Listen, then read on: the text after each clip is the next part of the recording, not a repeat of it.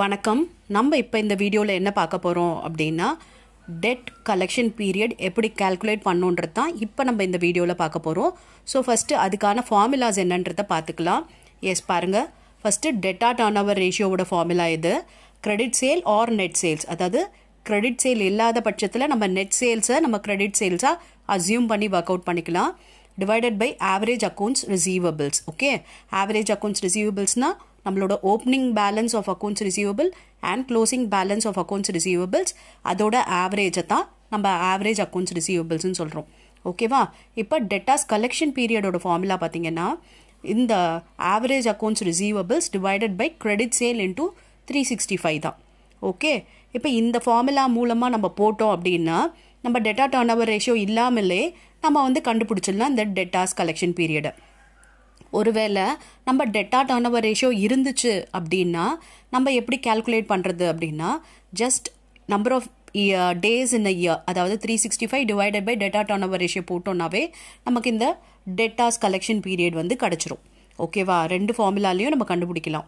அதாவது நமக்கு ப்ராப்ளமில் டெட்டா டர்ன் ஓவர் ரேஷியோ இருந்துச்சுன்னா நம்ம வந்து number of days in a year divided by debtor turnover ratio போட்டோம்னா நமக்கு டெட் கலெக்ஷன் பீரியட் கிடச்சிரும்.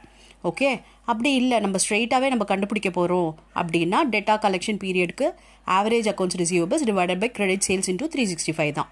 ஓகே ஆவரேஜ் அக்கௌண்ட்ஸ் ரிசீவபிள்ஸ் நான் சொன்னேன் இல்லையா? ஓப்பனிங் அக்கௌண்ட்ஸ் ரிசீவபிள்ஸும் க்ளோசிங் அக்கௌண்ட்ஸ் ரிசீவபிள்ஸும் ஆட் பண்ணிவிட்டு டிவைடட் பை டூ இந்த அக்கௌண்ட்ஸ் ரிசீவபிள்ஸ்ன்றது என்ன அப்படின்னு பார்த்தீங்கன்னா பில்ஸ் ரிசீவபிள்ஸும் டெட்டாஸும் சேர்ந்தது தான் அக்கௌண்ட்ஸ் ரிசீவபிள்ஸ் அப்போ பில்ஸ் ரிசீவபிள்ஸும் டெட்டாஸும் இருந்துச்சுன்னா ஓப்பனிங்கில் இருந்ததுன்னா அதை தனியாக ஆட் பண்ணிக்கணும். அண்ட் க்ளோசிங்கில் இருந்தால் அதை தனியாக ஆட் பண்ணிவிட்டு அது ரெண்டுத்தையும் ஆட் பண்ணி அதுக்கு ஆவரேஜ் பண்ணுறோம் ஓகே அண்ட் இப்போ நமக்கு கிரெடிட் சேல் வேணும் இல்லையா? அதாவது இந்த இது போடுறதுக்கும் சரி அண்ட் இங்கே டேட்டா கலெக்ஷன் பீரியட் கண்டுபிடிக்கிறதுக்கும் சரி கிரெடிட் சேல் வரும் கிரெடிட் சேல் எப்படி கண்டுபிடிக்கிறது அப்படின்னு பார்த்தீங்கன்னா டோட்டல் சேல்ஸ்லேருந்து கேஷ் சேல்ஸையும் சேல்ஸ் ரிட்டர்னையும் மைனஸ் பண்ணால் வர்றது தான் கிரெடிட் சேல் ஓகே இப்போ வந்து நம்ம அதுக்கான ப்ராப்ளம் பார்க்கலாமா? எஸ் பாருங்கள் from the following information you are required to calculate debt collection period total sales for the year 1,75,000 cash sales 20 total of total sales. Sales uh, return out of credit sale rupees 10,000 sundry debtor opening balance 8,000 closing balance 12,000 இப்போ பாருங்கள் இதில் நமக்கு bills receivables பற்றி information இல்லை. வெறும் sundry டேட்டார் மட்டும்தான் கொடுத்துருக்காங்க. அப்போ இதோட ஓப்பனிங் க்ளோசிங்கே ஆட் பண்ணி ஆவரேஜ் கூட பண்ணிக்கலாம் நம்ம. ஓகேவா அவசியம் பில்ஸ் ரிசீவபிள்ஸ் இருக்கணுன்றது கிடையாது. இருந்துச்சுன்னா டெட்டாரையும் பில்ஸ் ரிசீவபிள்ஸையும் ஆட் பண்ணிவிட்டு ஆவரேஜ் பண்ணலாம். அப்படி இல்லைன்னும் போது வெறும் டெட்டாஸோட ஓப்பனிங் க்ளோசிங் தான் இருக்குன்னா இதை யூஸ் பண்ணியே நம்ம ஆவரேஜ் பண்ணிக்கலாம். ஓகேவா அண்ட் இங்கே கேஷ் சேல்ஸ் பார்த்தீங்கன்னா டோட்டல் சேல்ஸில் டுவெண்ட்டி பர்சன்ட் சொல்லியிருக்காங்க.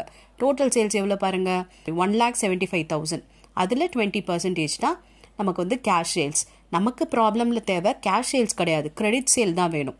அப்போ இந்த டோட்டல் சேல்ஸ்லேருந்து கேஷ் சேல்ஸை மைனஸ் பண்ணோன்னா நமக்கு கிரெடிட் சேல் கிடைச்சிரும் ஓகே இந்த ரிட்டர்ன்ஸையும் மைனஸ் பண்ணணும்.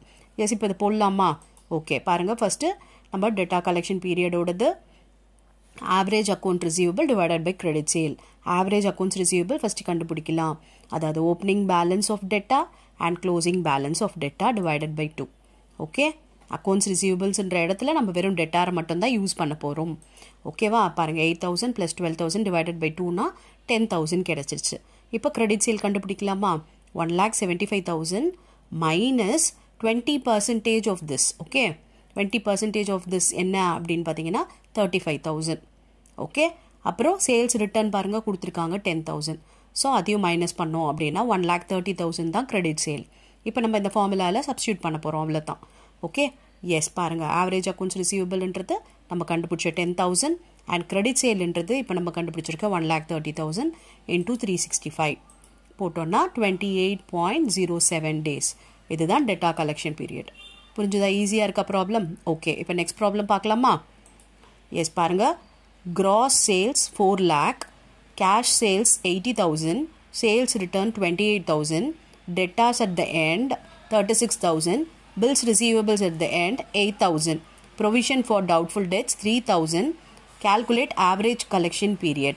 Okay average collection period debtor collection period debt collection period எல்லாமே ஒன்று தான் ஓகே இப்போ நம்ம போடலாமா? ஓகே இப்போ கிராஸ் சேல்ஸுன்றது இருக்குது அதுதான் நம்மளோட டோட்டல் சேல்ஸாக எடுத்துக்க போகிறோம் அண்ட் கேஷ் சேல்ஸுன்றது இருக்குது சேல்ஸ் ரிட்டர்ன் இருக்குது ஓகே இந்த கிராஸ் சேல்ஸ்லேருந்து இது ரெண்டுத்தையும் மைனஸ் பண்ணானா நமக்கு கிடைக்கிறது க்ரெடிட் சேல் ஓகே அதுக்கப்புறம் டெட்டாஸ் பார்த்தீங்கன்னா எண்டில் இருக்குது பில்ஸ் ரிசீவபிள் எண்டு இருக்குது இப்போ நம்ம இதுக்கு ஆவரேஜ் பண்ணணுமா அப்படின்னா பண்ண வேண்டியதில்லை. ஓப்பனிங்கும் க்ளோசிங்கும் இருந்தால் தான் நம்ம ஆவரேஜ் பண்ண முடியும். இப்போ பில்ஸ் ரிசீவபிள்ஸையும் டெட்டாஸையும் ஆட் பண்ணால் வரத நம்ம அக்கௌண்ட் ரிசீவபிளை அப்படியே வச்சுக்கலாம். ஓகேவா ஏன்னா ஓப்பனிங் இருந்தது க்ளோசிங் இருந்ததுன்னா ஆவரேஜ் இது ஒரே ஒரு எண்டு மட்டும்தான் கொடுத்துருக்காங்க. அப்போ நம்ம ஆவரேஜ் பண்ண வேண்டிய அவசியம் இல்லை. எஸ் போடலாம்.